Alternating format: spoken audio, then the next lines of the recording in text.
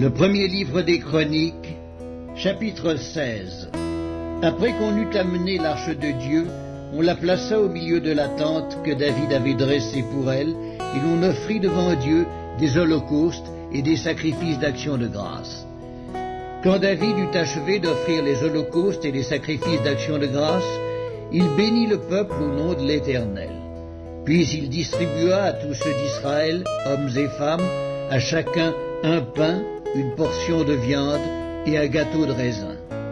Il remit à des Lévites la charge de faire le service devant l'arche de l'Éternel, d'invoquer, de louer et de célébrer l'Éternel, le Dieu d'Israël.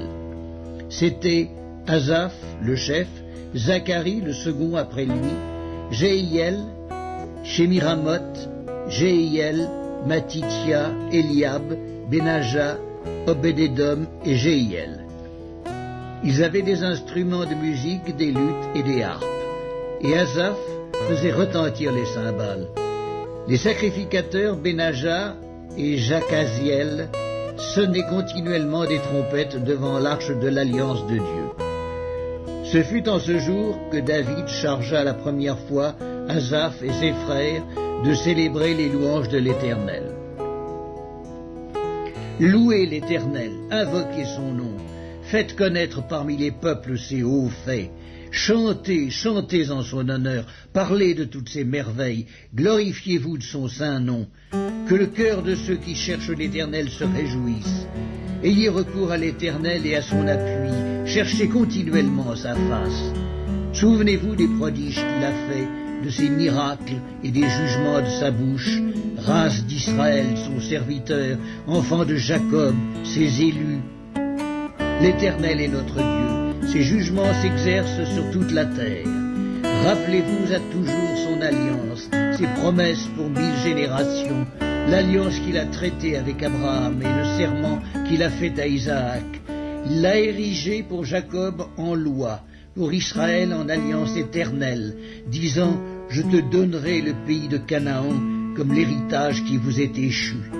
Ils étaient alors peu nombreux, très peu nombreux et étrangers dans le pays, et ils allaient d'une nation à l'autre et d'un royaume vers un autre peuple. Mais il ne permit à personne de les opprimer, et il châtia des rois à cause d'eux. Ne touchez pas à mes oins, et ne faites pas mal à mes prophètes. Annoncez de jour en jour son salut, racontez parmi les nations sa gloire, parmi tous les peuples ses merveilles, car l'Éternel est grand et très digne de louange. Il est redoutable par-dessus tous les dieux, car tous les dieux des peuples sont des idoles, et l'Éternel a fait les cieux. La majesté et la splendeur sont devant sa face, la force et la joie sont dans sa demeure. Famille des peuples, rendez à l'Éternel, rendez à l'Éternel gloire et honneur. Rendez à l'Éternel gloire pour son nom. Apportez des offrandes et venez en sa présence. Prosternez-vous devant l'Éternel avec de saints ornements. Tremblez devant lui, vous tous, habitants de la terre. Le monde est affermi, il ne chancelle point. Que les cieux se réjouissent et que la terre soit dans l'allégresse que l'on dise parmi les nations, l'Éternel règne, que la mer retentisse avec tout ce qu'elle contient, que la campagne s'égaie avec tout ce qu'elle renferme, que les arbres des forêts poussent des cris de joie devant l'Éternel, car il vient pour juger la terre. Louez l'Éternel, car il est bon, car sa miséricorde dure à toujours. Dites, Sauve-nous, Dieu de notre salut, rassemble-nous et retire-nous du milieu des nations, afin que nous célébrions ton saint nom et que nous mettions notre gloire à te louer.